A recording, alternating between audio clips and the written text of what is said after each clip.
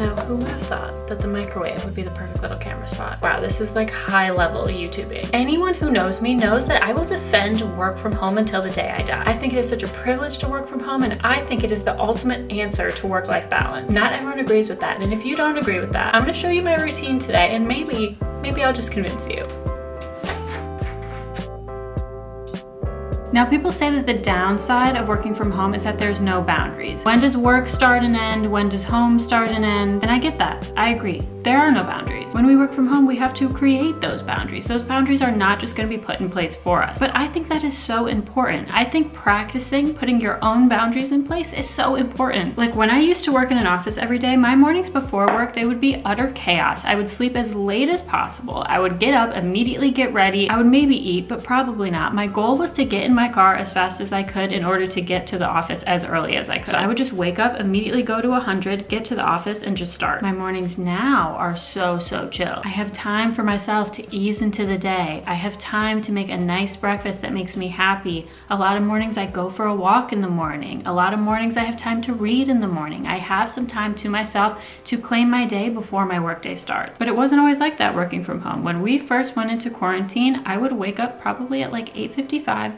roll out of bed. Sometimes I wouldn't even pee. That's probably TMI. But sometimes I would just immediately open my computer when I opened my eyes and just start working. So now you're probably thinking, Tessa, you just admitted that you can have a chaotic work from office morning and a chaotic unproductive work from home day. What's the difference? Clearly, work from home and working in the office doesn't determine whether you're gonna have a productive morning, right? And I totally agree. Whether you're working from home, whether you're working in the office, you have to prioritize having that slow morning if that's what you want. It's not just gonna be given to you either way. But I noticed after a few months of working from home and a few months of like a true slow life, I had so much more energy because there was so much less clutter in my life. Work from home life made my life so simple that now I actually have the energy to prioritize a slow morning. I have the energy and the space and the mental clarity to actually wake up early and use my morning to my benefit. Before, I only had energy to survive. Now I have energy to refine. And because of that, not just my mornings, but I've refined so many little areas of my life because I'm working from home. Also, I just have to say, if you're following along with the egg journey, today was a win. Today was such a win.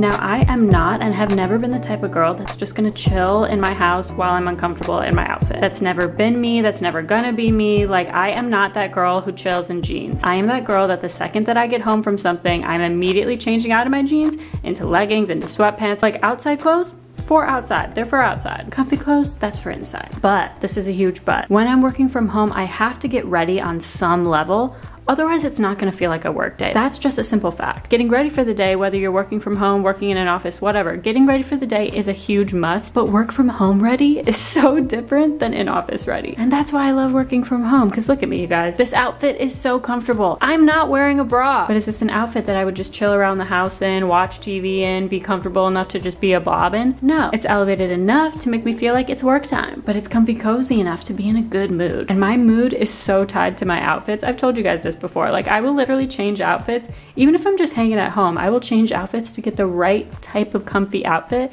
because my mood and my happiness is so tied to my comfort. And that's why like being in an office, even when I graduated from like office corporate to like office jean vibes. It still like honestly killed my soul to be in jeans all day. Now my soul is happy, my soul is free, but I'm still ready enough to feel like, okay, time to grind. So prioritizing a slow morning, that's kind of my first tip of how to make working from home work for me. Having a nice slow morning makes me feel like I have a life outside of work. It makes me feel like my day isn't just completely work. And then getting ready, that's number two. Now, some days the outfit does suffer. Some days the outfit is a little too casual because I am a cozy girl. You guys know this. Sometimes it's hard to fight the coziness. But what I do really, really prioritize every day putting my face together. Honestly, I just like doing my makeup. To me, it's like an adult craft. Like I genuinely enjoy painting my face. I love blending the colors. It's like a daily art project. And doing my makeup always ends up being like a weirdly meditative moment for me. Like with the way our world is, it's just so go, go, go. And we have very few moments in our day that are just like calm. And for me and my routine, I think doing my makeup is one of those moments where it's just like still, calm and where I really do just like sit, think, reflect. Like, yeah, sometimes I watch a YouTube video or listen to a podcast, but a lot of mornings and a lot of nights when I'm doing my makeup, I am just kind of standing in the quiet, thinking and reflecting. Like, I think it's such an underrated time of day and such a like sneaky mindful time of day. So every day I do just like the simplest makeup routine. It gets me ready for the day. It makes me feel like it's a weekday instead of like a casual chill weekend. And it's also just fun. I also love working from home because I feel like I weirdly get more of a diversity of space than when I work in an office. Like I hear a lot of people defending in office work because it's like you get new scenery. But I don't know about you, the offices that I've been in, the scenery has either been like a blank wall or like a random poster that's like not centered on the wall that some like office interior design person just like slapped there. And when you go to that same office every single day, is it really diversity of space? Like at least when I'm working from home, my environment is what I put together. It's what I selected it. And honestly, when I hear people complaining about work from home because they're like their environment sucks when they work from home, I'm like, who is really to blame for that? Like, it's kind of you. Like, I don't need some office interior designer to like spark my joy, you know? I'll spark that myself. But I think being at home and living at home, I get it. It can feel like, oh my God, I've been in this apartment all day. So I like to take advantage of the fact that I can work from any place in my apartment. I can work from my table, I can work from my couch, I can work from my office. And I do work from all those places throughout the day. And I think that's a bonus that only exists at home because in the office, you got your desk, your desk your desk or your desk. Not really much diversity of space. So usually if I have like hands-on keyboard work, if I have emails, if I have anything I need to write or anything I need to design, I do that in this little setup on my couch. And no, I don't do it like slumped over on the couch. Like I sit up straight, still got good posture, but I'm on the couch in my living room enjoying this space. And then my setup for calls and meetings, that's in my office. So I'll move over there for those. Sometimes I do take calls from the couch, but I usually take pretty much all my calls from the office. So that's my third tip. I move around the house. I give myself different sceneries just so that I don't end up feeling like I've been stuck in one room all day, even though that's what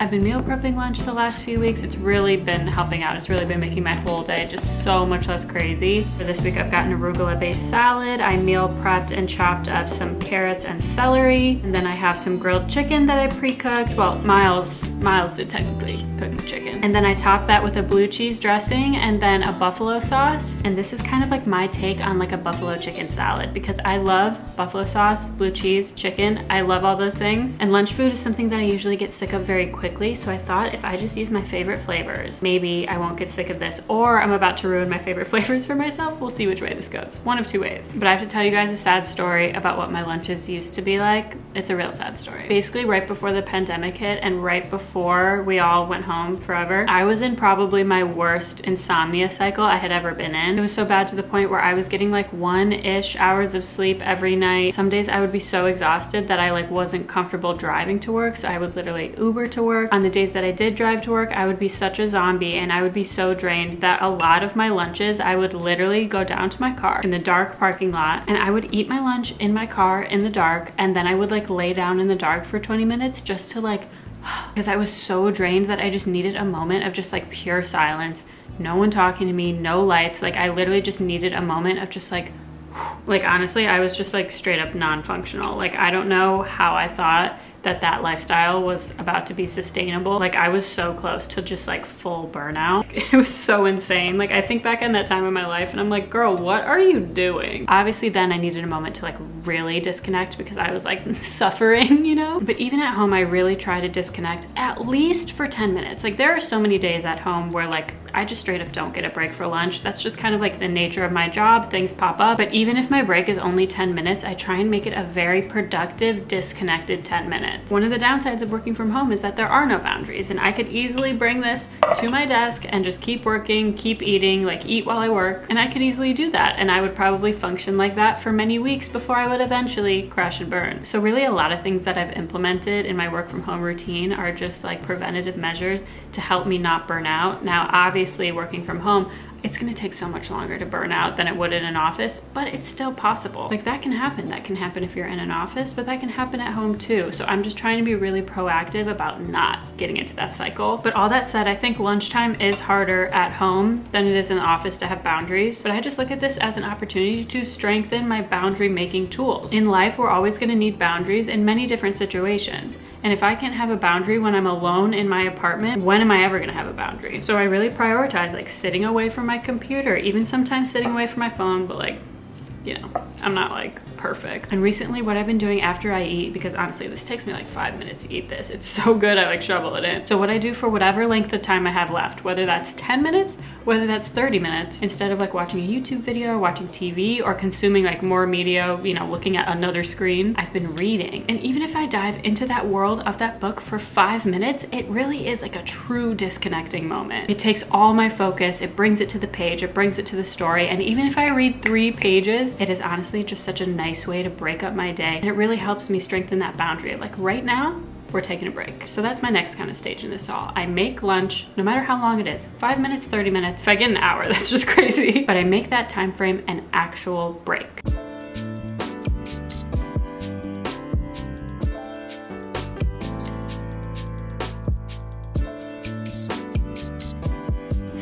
Work from home or whether you work in an office, you have to prioritize movement. It's not just gonna naturally happen in one environment or the other. And I would tell myself that on those office days, like I was getting out, I was getting moving, like no, I wasn't. I was going to my car, sitting in my car, going from my car to my desk and sitting at my desk. I was not moving. So do I think being at home gets like an unfairly bad rap for like the stationariness of it all? Yes, I do. I think if you have an office job, no matter where you work, you're pretty stationary. But being at home, I feel like I have a teeny bit more freedom to do my movement, not just before work, not just after work, but I can kind of sneak it in if I have time. And I also feel like just because of the flexible nature of work from home, I feel like my movement and my exercise also takes on a more flexible nature, which is honestly so much better for me. Like I think being rigid with myself and saying like, I'm gonna strength train these days and I'm gonna do cardio this day and I'm gonna walk that day. Like making a plan like that and forcing myself to stick to it, it never ends up working and it never ends up feeling right. So for me, this like go with the flow nature of working from home, that go with the flow nature also trickles into my workouts, which I think actually like works out pretty good for me. Like some days, depending on my energy, I'll be like, this is a great day to go to F45. It's really a good day to kick it in gear. I've also been peppering in a few runs recently. That's a sort of different amount of energy and a different style. On a day like today, I'm not trying to do anything too high energy. I'm really not, but I wanna get some movement in. So I've decided in this little window that I have right here, I have like 30 minutes. I think I'm gonna go outside, I'm gonna go for a little walk, and there's some stairs close to where I live. I think I'm gonna walk up and down the stairs and do that as my movement for today. And for me personally, I like to pepper in life with work. I think that's the true work-life balance. If you can have moments of life, moments of work throughout the day versus just like life before work, work, life after work. That's why I love work from home so much because it just feels more natural. It doesn't feel so rigid. And I think nowadays we have such a perception that like rigid is productivity. But really for me, I've noticed that I am the most productive when I go with the flow of my day. If I try and force something, like that is not a way for me to be productive. For me, going with the flow is actually the way that I can be the most productive with my day. And if I have like a window here, I'll be like, oh, I can fill that with this. If I have a window there, and I'm kind of like tailoring my day as the day goes. It just feels so right. And it might seem counterintuitive, but like I don't know, I feel like my goal in life and a big goal with my channel is to like prove that productivity takes many different forms. And I don't think there's one right way to be productive. And that's why I like get annoyed at like office culture sometimes because office culture really pushes like, this is the way to do things. This is when we start and this is when we end. And this is when we have a break and this is when we're productive and this is when we're not. And this is when we socialize. Like it prescribes one thing onto everyone. And for some people that might work really great. But for a lot of other people, it doesn't feel feel good. It doesn't feel natural and it actually is very draining, which in turn is not something that's gonna result in productivity. I love work from home because it gives us autonomy. It lets me structure my day how is best for me and it lets someone else do what's best for them. And just like learning to create our own boundaries like levels us up as a human, I think learning to structure our own day levels us up as a human too. Like why do I have to let some CEO, some boss, or some company tell me what is best for my day? Why don't I figure that out for myself and structure myself and keep myself accountable? Like those are skills that are transferable to every aspect of life and those are skills that are going to be with me forever. Yeah, I told you guys, I was not lying when I said I will defend work from home to the day I die. Like work from home life, it puts the responsibility on us. And while that can be tough sometimes, and while that might not be the most comfortable thing sometimes, it puts it on us. Look at all these opportunities for self-motivation. Look at all these opportunities to show my true work ethic, to let that shine. I think that rant was also a little bit of procrastination, now that I'm thinking about it. I think I'm trying to avoid doing my movement for today a little bit. But guess what? I'm in control. No one's putting that boundary in place for me. No one's telling me when I gotta do it and how I gotta do it. I gotta do that for myself, so we gotta go do it.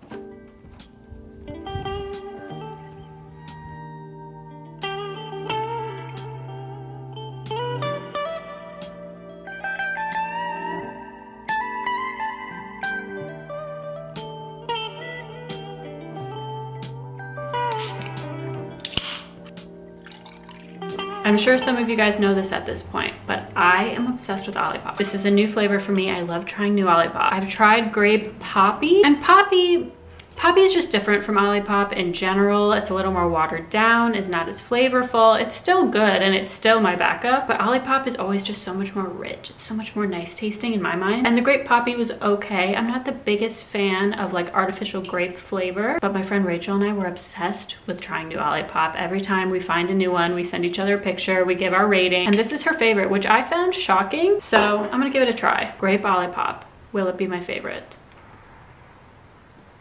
What does that taste like? Like obviously it's grape, but it reminds me of something specific. That's so good. I have to text her, hold on. So fire. Wow. Okay, yeah, this is a new favorite for me. It doesn't taste too artificially, but it has such a tangy aftertaste.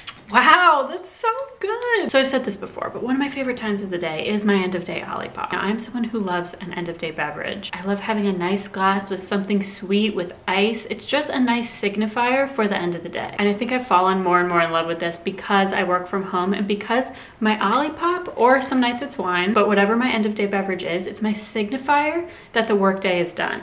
Like the second that I crack the Olipop, like work's over. And just holding something in my hand and sipping it and savoring it, it's just like the perfect way to symbolize work is done. Here's your treat sit back, relax. Now, obviously, like I've said before, one of the things I like about working from home is that work and life blend a little bit, but I don't like that when it comes to the end of the day. I wanna know when I'm done with work. Throughout the day, work-life mix, that's awesome, that's wonderful, that's productive. At night, work-life mix, that's stress, that's burnout, that's a no-no. So I'm constantly looking for ways to kind of signify the end of the workday. Something that I also do very often is I take an end of day shower. And I've said this before, but I think an end of day shower, whether it's just a body shower or whether you're actually actually like getting in and washing everything, it almost replaces your nighttime commute in the sense that it's like your time, your transition time to kind of transition out of work and to decompress. Like when I used to work in the office, the drive home was kind of the time I got in my transition time of like, okay, I'm transitioning out of work mode, transitioning into like at home chill mode. If there's anything crazy that happened at work, I might be talking to someone on the phone while I'm driving, I'm getting it out, but by the time I'm home, those conversations are done it's time to chill. So when working from home, my end of day shower kind of like becomes that time of where I'm like,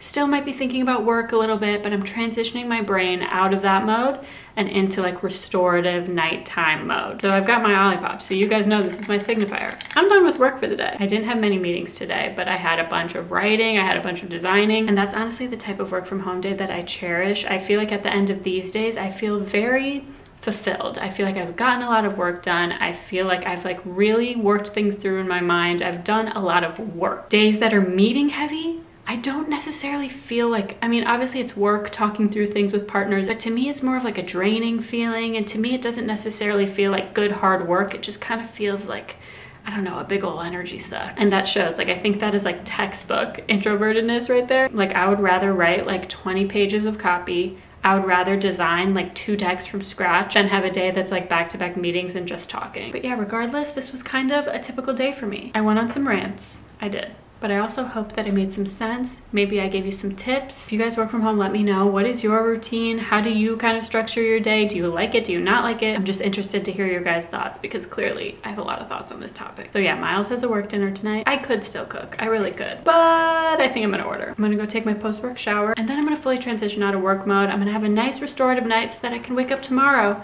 feeling good and ready to do it all again. So yeah, I hope you guys enjoyed this one. If you made it to this part in the video, don't forget to like and subscribe. And I'm curious, do you guys like videos that are more topic based where I kind of like stay on the same topic throughout the video? Or would you rather just like see a typical day and wherever my mind goes within that day? Be careful if you choose that option because it goes, it goes. But I hope you guys enjoyed this one and I'll see you next time. Cheers.